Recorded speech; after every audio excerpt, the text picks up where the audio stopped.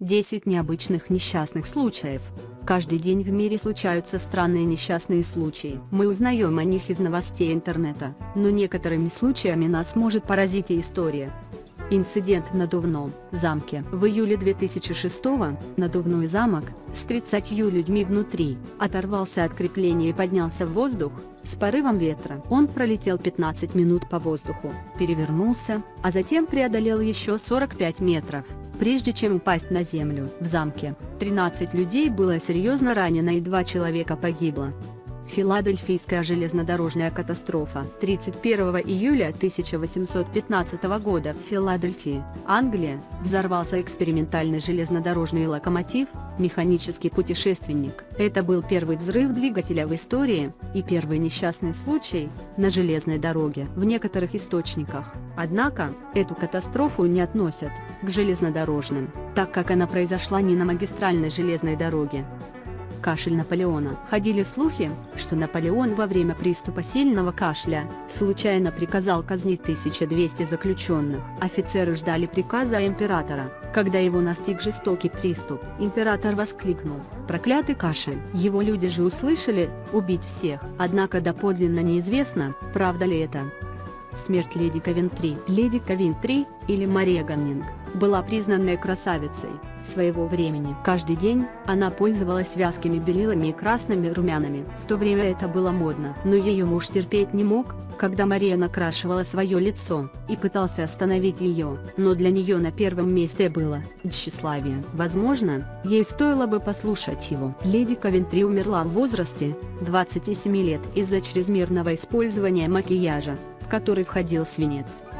Катастрофа на озере Пенер. Эта катастрофа была вызвана бурением соляной шахты на дне озера. Бур случайно проткнул третий уровень шахты, и вся вода в озере вытекла. Дыра расширилась, так как почва и соль были смыты. Воронка также смыла буровую платформу. 11 барж, множество деревьев и 260 тысяч квадратных километров земли. Но если бы руководство, Буровой вовремя бы обратились в экспертный центр охраны труда и экологии, можно было бы избежать жертв в данной катастрофе радиоактивное заражение в Гуяне. Этот случай произошел 13 сентября 1987 года в Гуяне, Бразилия. Это заражение считается одним из самых опасных в истории. Из заброшенной больницы мародерами была похищена деталь из радиотерапевтической установки, содержащая радиоактивные изотопы цезий-137 в виде хлорида цезия, после чего оказалась выброшена в течение более двух недель.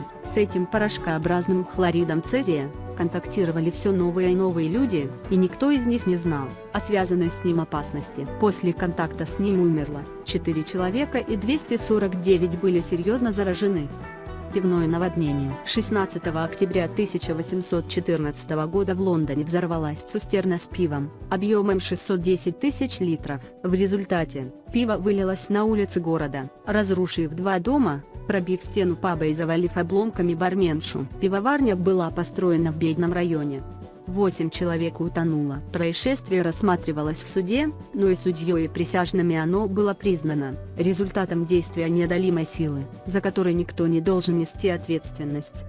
Бал горящих людей. 8 января 1393 года король Франции, Чарльз Ви, проводил бал в честь свадьбы фрейлины королевы, Изабел. Королю пришла в голову идея нарядиться вместе со своими друзьями в декорей. Для этого, они покрывали одежду смолой и перьями. Мужчины вошли в зал, скованные цепью. Один из подданных с факелом подошел ближе посмотреть. Несчастные моментально загорелись. Короля спасла Жанна де Болонь, накинувшая на него нижнюю юбку. Еще один окатил себя водой. Другим жертвам не так повезло. Двое были сожжены, заживо. Еще двое умерли позже от ран.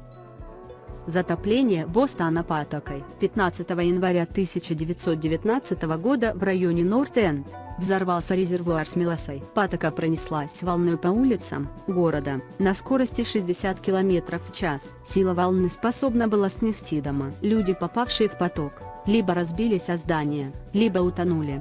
21 человек погиб, и 150 были ранены. Ходят слухи, что в жаркий день здесь до сих пор пахнет сладким.